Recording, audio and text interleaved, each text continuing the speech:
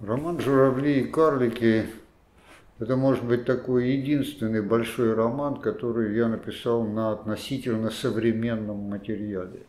Ну, конечно, с историческими вставками.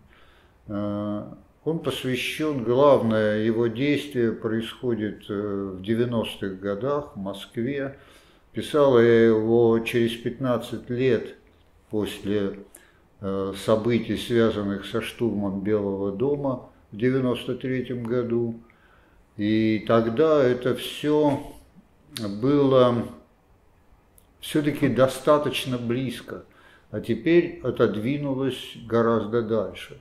И поэтому, может быть, этот роман может восприниматься теперь как роман исторический, потому что я даже не столько по профессии, сколько по своему образу мышления, по природе своего ну, скажем так, своих способностей, я прежде всего историк и смотрю на вещи с точки зрения историка.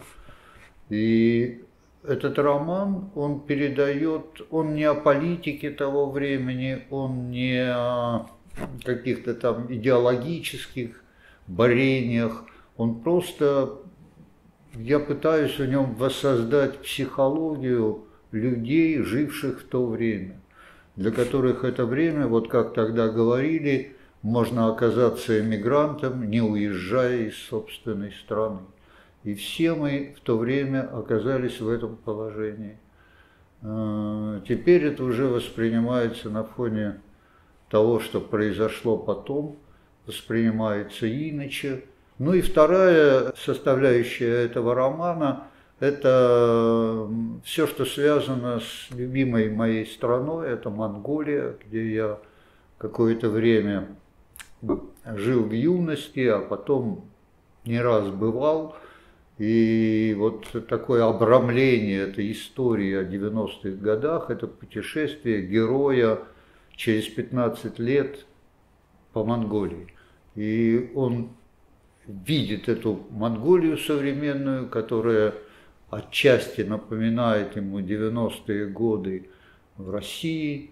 И вот на пересечении этих двух реальностей, монгольской реальности и реальности 90-х годов, вот, собственно, и возник этот роман, который я люблю до сих пор.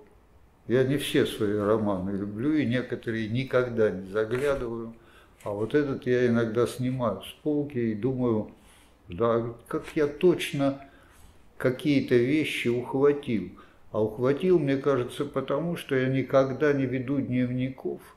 И то, что и пишу по памяти, но то, что сохраняет моя память на протяжении 15 лет, то оказывается важно не только для меня. Вот это как бы вот роман памяти.